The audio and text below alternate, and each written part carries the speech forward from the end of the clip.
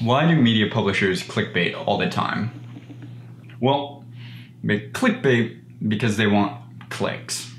It's kind of as simple and as cynical as that. Ultimately, all the media publications you know, whether it's BuzzFeed or the New York Times or Fortune magazine or Bloomberg or Fox or Vice, they're all there to make money. And they're all right now not making enough money.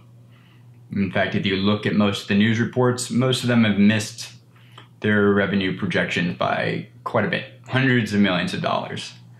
And so there's an incentive to really get people to click and read the videos and articles. But the thing I think a lot of the general public doesn't understand is that when it comes to clickbait, the person making the content often isn't the person selling it. So when you work in the New York media industry, there are writers or reporters, video producers, and social curators. And there's kind of those three jobs, and they all interface with each other. And writers and video producers will make the content, and then that content will be sent to something to someone called a social curator. And that social curator's entire job is to maximize the reach of that content, that video, that article, that post, that reporting. And oftentimes, they didn't have anything to do with creating the content. Uh, but they're the ones that will choose the thumbnail or the photo, choose the headline, choose the description. So every time you see an outrageous like headline for an article or video on Twitter from like Fortune or BuzzFeed or the New York Times, often that's written by a different person than the person who wrote the article. And the person that wrote the article has no clue that's even what the headline or the description is on Twitter. Uh, they're two different people entirely. And a good example of this, both in terms of like media publishers clickbaiting and the content of the the the the article or video being different than the clickbait headline or description is uh, a YouTuber PewDiePie. So he's covered quite frequently by media publishers, partly because they know they can get clicks. Uh, his name in and of itself is clickbait. And you'll notice a lot of times they'll, they'll focus on keywords like anti-Semite, Nazi, hateful content, the N-word, and they'll they'll clickbait it in such a way that like the headline and the description give no context to what a, what has happened, and that's done on purpose. Like you're trained in New York media. There's there's a couple different ways. Like one, a big way you're trained is to get people to share content. That in some ways, sharing content, getting somebody to share content, is more important than getting views, uh, especially for Facebook. And so the best way to get people to share content is to like play on their emotions. And the biggest emotion that gets people to share content is anger or outrage. And so you want to have a really outrageous headline. And that outrageous headline doesn't necessarily have to correlate to the same level of emotion in the actual article. And like PewDiePie is a great example where you will see headlines all the time come out whenever there's a controversy around PewDiePie that are very clickbaity. You know, PewDiePie is a Nazi. PewDiePie uh, validates anti-Semitic content again.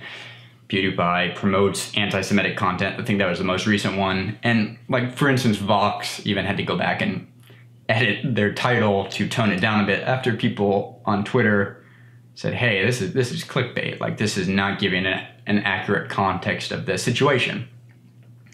But at the end of the day, they don't really care because they've already gotten those clicks and those views in the first 24, 48 hours. And that's where most of the volume of traffic comes from, that 72 hour window. And in that 72 hour window, most publishers are going to go with the headline and description and photo that they think can get the most clicks.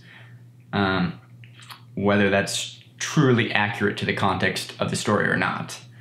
Um, and you'll see this often. You'll see it where the, the, publisher will go back in a day or two later and change the headline or change the photo uh, because people have spoken out. But the publishers don't really care because they've already gotten the views. So that's why there's clickbait. Clickbait exists simply to feed the advertisers. The advertisers want views. The best way to get views is to get people to get to click. And the best way to get people to click is to say something outrageous, specifically something that plays on their emotions, um, specifically the emotion of like outrage and anger. And to further those clicks is to share. You want really want people to share content, and people share things that make them mad. Now, beyond that, you know, I think it's important to recognize if you're ever really curious to look into like a, a media publisher's uh, kind of masthead and look who the writer is and look who the social curator, look for that term, like curator is for that company, whether it's Vice or Vox, um, and look at their Twitters. And usually in their Twitter, will say like, you know, social curator at Vice or at Vox. And those are usually the people really responsible for the headlines and the descriptions, not the person that wrote the article or made the video. And often, you know, that's that's the reason why you see so much clickbait, is because there is an entire position called social curator that exists at most media companies, and their job is to take any piece of content that's handed to them in the organization on their team and maximize the amount of clicks. Anyway, I don't think that's going to go away anytime soon, but that hopefully offers an explanation to why uh, there is an incentive to one clickbait and two why clickbait isn't quite as simple as as the the author of the video producer just just writing something outrageous. Anyway just a thought. Have a nice night you guys